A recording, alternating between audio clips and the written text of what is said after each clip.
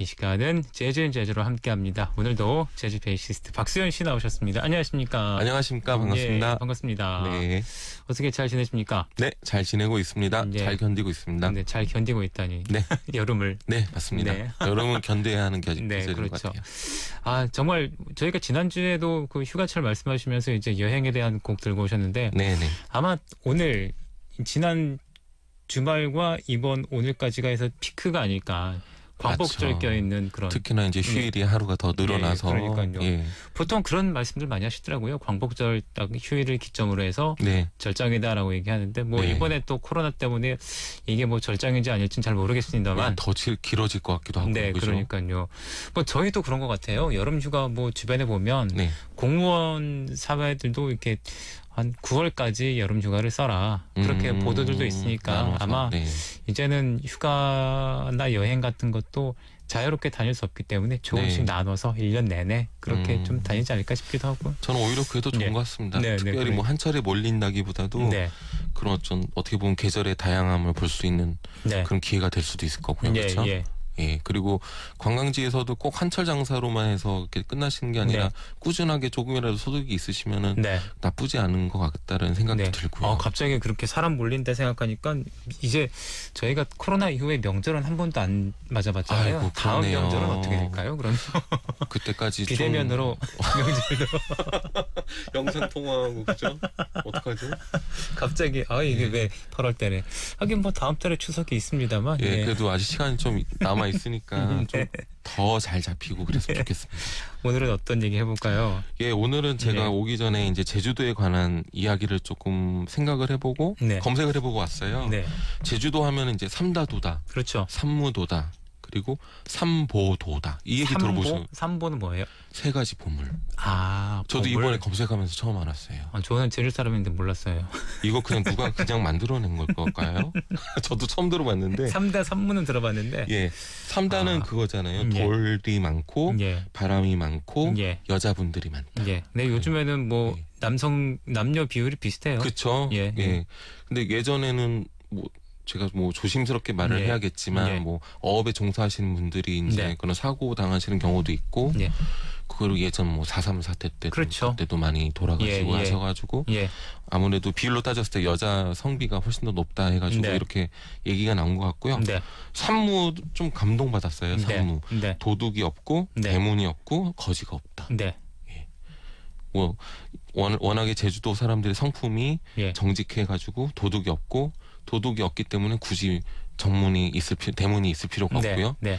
그리고 서로 이제 베푸는 그런 온정이 있는 따뜻한 네. 사회여서 거지가 없다 이런 내용을 읽고서 와 정말 좋은 곳이구나. 혹시 그건 아세요? 정랑은 아세요? 정당 알죠. 아. 그문 앞에 이렇게 예. 비스나면 아. 이건 모르면 안 되죠. 이거 테스트 하시는 건가요? 아, 갑자기 정랑이 생각이 나네요. 예. 네, 그렇죠. 삼보는 뭐예요, 그러면? 삼보는 세 가지 보물. 예. 그래서 바다, 예. 한라산, 예.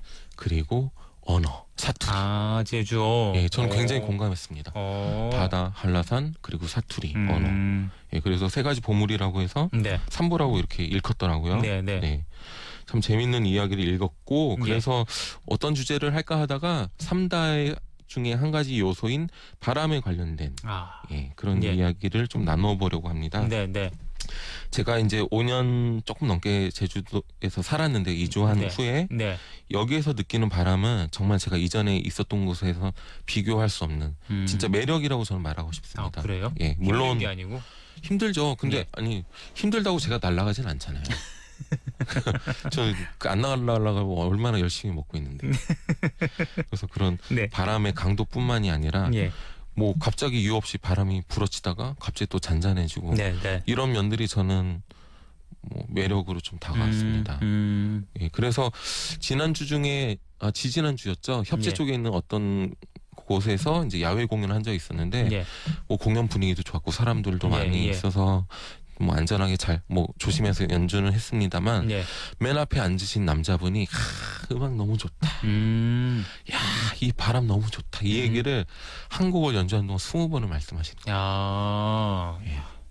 바람이 좋다. 예, 또 그 얘기를 들으면서 맞지. 제주도는 진짜 바람이 예. 매력적인 게 맞지. 네, 네. 그런 생각을 했죠. 네. 예, 그래서 바람에 관련된 그런 곡들을 좀 골라봤고요. 첫 번째 소개시켜드릴 곡은 기타리스트 웨스 몽고메리의 바람과 함께 사라지다. 아. 예, 영어로 하면 Gone with the Wind라는 네. 제목의 곡입니다. 네, 네.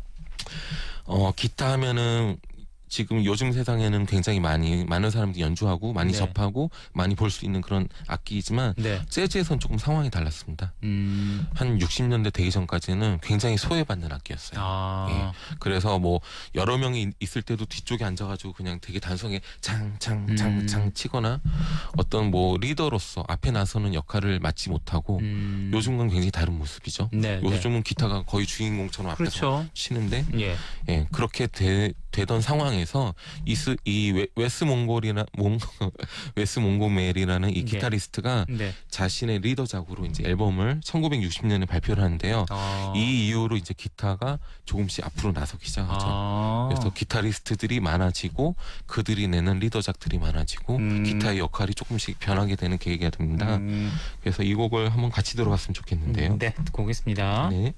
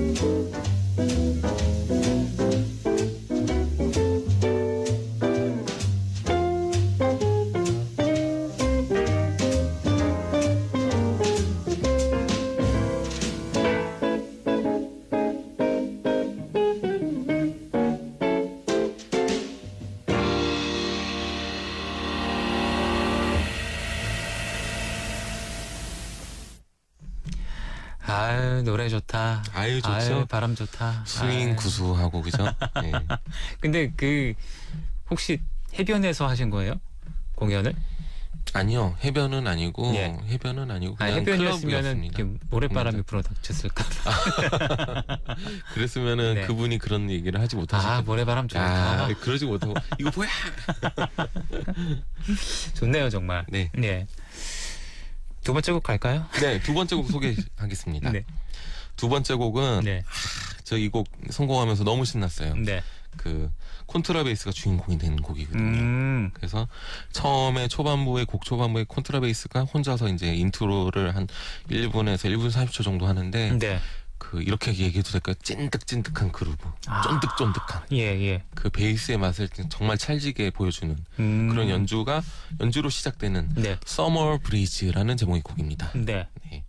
그래서 이 연주자인 브라이언 브롬버그가 콘트라베이스 연주자인데요. 이분은 콘트라베이스뿐만 아니라 electric 베이스 기타의 연주도 굉장히 잘하셔가지고 영상을 좀 찾아보니까 정말 신나게 항상 흥겹게 웃으면서 연주하시더라고요. 음. 예 그리고 정말 이분의 특징은 방금 전에 말씀해드린 그 예. 진득진득한 진득. 그 그룹 그루브 쫀득 전 쫀득이라고 얘기하고 아, 싶어요. 그래요? 예.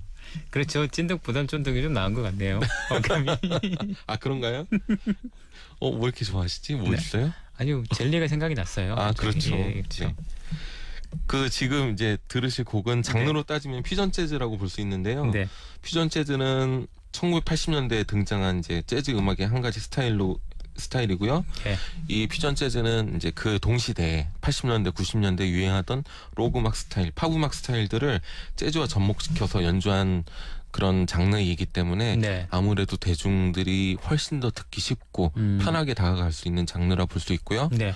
저 같은 경우도 처음에 이 퓨전 재즈 음악을 좋아하게 되면서 재즈를 이제 점점 깊게 듣게 된 음. 케이스이기 때문에 음. 뭐 그런 약간 듣기 편한 퓨전 네. 재즈 신나는 예, 서머 브리지라는 곡 음, 네. 같이 들어보면 좋을 것 음, 같습니다. 네, 그래요. 이 곡 들려드리면서 이렇게 박수현 씨와는 인사 나누고요. 저희는 다음 주에 다시 뵙겠습니다. 감사합니다. 네, 감사합니다.